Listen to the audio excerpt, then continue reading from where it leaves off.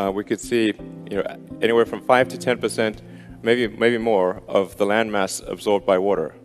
Uh, about a third of humanity lives right on the, on the coastline. So we'd be talking about maybe 2 billion people being displaced, um, and, and their homes being destroyed and their countries being gone. Even when you've got a situation where virtually every scientist uh, on Earth agrees that this is, you know, that, that, that global warming is real, that adding um, billions of tons of carbon to the atmosphere and oceans is, is a bad idea, then you have a few percent of who, who dissent, and, and then the way that it is presented to the public is, is not that you know, 97 or 98 percent of scientists think what we're doing is crazy, but that, but simply that scientists disagree. Now, now scientists disagree about everything. okay, you will not find 100% of scientists who agree about anything. Um, so, but, but this is a very disingenuous argument. I mean, there's definitely there are many important issues in the world. Um, this is not the only important issue, um, but it is, I think, the thing that will have the biggest um, negative effect on humanity if we do not address it. In general terms, uh, what is needed to address the, the, the climate crisis. And this is the thing that if, if, if, we, if we do, what actions can we take that, that will accelerate the transition out of uh, the fossil fuel era? Um, so th there's a certain amount of carbon that is circulating through the environment. So it's going into the air, being absorbed by, and then get, getting absorbed by plants and animals, um, and then going back into the air. And this, this carbon is just circulating on the surface. Um, and this, this is fine, and it's been doing that for millions, hundreds of millions of years. Uh, the, the thing that's changed is that we've added something to the mix. So this is what I would call the, the sort of the, the turd in the punch bowl. Um, so the, we added all this extra carbon to, to the carbon cycle, and the net result is that uh, the, the, the, carbon in the ocean's atmosphere is growing over time. It's much more than can be absorbed by the ecosystem. It's, it, it's really, it's really qu quite simple. We're taking uh, billions of tons of carbon that's been buried for hundreds of millions of years um, and is not part of the carbon cycle, taking it from deep underground and adding it to the carbon cycle carbon parts per million has really been bouncing around the 300 level for around 10 million years. Um, and then the last few hundred years, it went into a vertical climb. This, this is the, the, the essence of the problem. This is very unusual um, and, and, a, and a very, very extreme threat, as you can see from, from this rate of growth. Then this is accompanied by uh, a temperature increase, as one would expect, and, and, and, this, and this temperature increase, if people talk about two degrees or, or three degrees, it's important to appreciate just how sensitive the, the climate actually is to, uh, to temperature. And it's important to look at it in terms of absolute temperature, not um, in degrees Celsius relative to zero. We need to say, what is the temperature change relative to absolute zero? That's how the universe thinks about temperature. It's how physics thinks about temperature. It's, it's relative to absolute zero. So uh, for small changes result in, in huge effects. Uh, so New York City under ice would be minus 5 degrees. New York City underwater would be plus 5 degrees. But looked at in a, in a, as a percentage relative to absolute zero, it's only a plus minus 2% change. The sensitivity of the climate is extremely, extremely high. Um, we've amplified this sensitivity by building our cities right on the, on the coastline. And most, uh, it, most people live very close to, to the ocean. There are some countries, of course, that are, that are very low lying and would be completely uh, underwater in, in, in, a, in a climate crisis. So this, we, we've essentially designed civilization to be super sensitive to climate change. The, the, the important thing to appreciate is that we are going to exit the fossil fuels era. So it, it, is, it is inevitable that we will exit the fossil fuels era because at a certain point we will simply run out of uh, carbon to mine and burn. So the question is really when, when do we exit the era, not, not if. The goal is to exit the era as quickly as possible.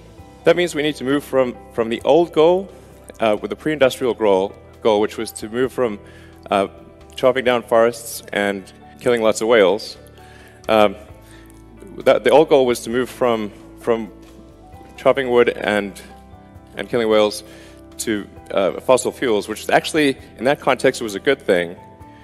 But the new goal is to move to a, a sustainable energy future. And we want to use things like uh, hydro, solar, wind, geothermal. Nuclear is also a, a good option in um, places like France, which don't, aren't subject to natural disasters. Um, and, and, we want to use energy sources that will be good for, for a billion years. So, how do we accelerate this transition away from fossil fuels to a sustainable era? And, and, and, and what happens if we don't? So, if we, if we wait and if we delay the change, um, the best case, the, the, the best case is, is, is simply delaying that inevitable transition to sustainable energy. So this is the, this is the best case if we don't take action now. Um, at the risk of being repetitive, it's, there, there's going to be no choice in the long term to move to sustainable energy. It's, it's tautological. We have to have sustainable energy or we'll simply run out of the other one.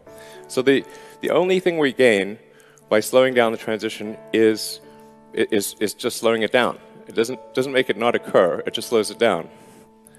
The worst case, however, is more displacement and destruction than all the wars in history combined. Okay, this is, these are, these are the best worst case scenarios. So then, we have uh, yeah, about 3% of scientists that believe in the best case, about 97% that believe in the worst case. This is why I call it the dumbest experiment in history. Like, why would you do this? The, the, issue we have right now is that the, the rules fundamentally favor the bad outcome. So when you're fighting for the good outcome and it's an uphill battle, um, it, it, it's, just, it's just slower.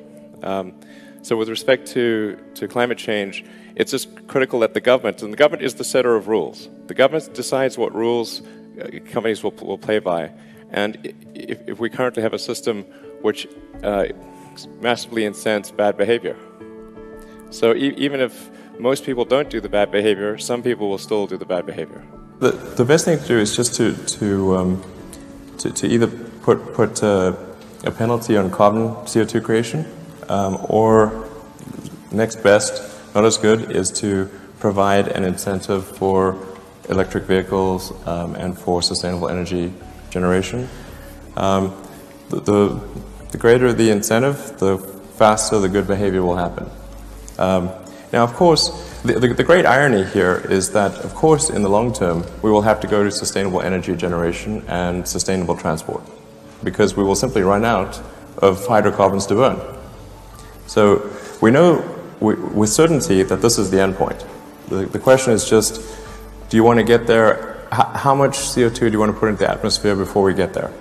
Like we can take it all out and put it in the atmosphere. I think that would be quite bad. Um, or we could put a, small incremental amount or a large incremental amount. It's just entirely dependent upon how you set the economics of carbon producing actions versus non carbon producing actions. So it's, it's somewhat of a continuum. Um, the, the, the greater the incentive, the better. I mean, for, for a lot of countries, they're sort of aimed at around a 10% incentive for electric vehicles. Hopefully, anything more than nothing would be good. So, I mean, today the challenge is in terms of millions of people, but in the future, um, based on what the scientific consensus is, the, the problem will, will be in, in hundreds of millions um, and, and much more severe. So I think it's, it's very important that we, we take action today to recognize that we are making a very significant change to the chemical constituency of the atmosphere uh, and the oceans, um, and one that is almost impossible to reverse. Um, and uh, I think you know when we look back on on these days in the future, we want to be able to say that we we did the actions that were were right, the actions that that were important. Because I think it's very difficult to say, you know, if you go say 20, 30, 40 years in the future, you know, what do you say to your kids or your grandkids? You know, it's not as though like the, I mean, it's like the, the scientists all say that these bad things are going to happen. It's like 97%. So like say, well, to your grandkids or kids, like, well, did nobody tell you? No, it's like, no, everyone was telling us. okay, so why didn't you do anything? Based on, on the, the, the projections that we're seeing right now, these are like, I'd say, arguably best case projections. We're going to see significant rises in temperature and sea level.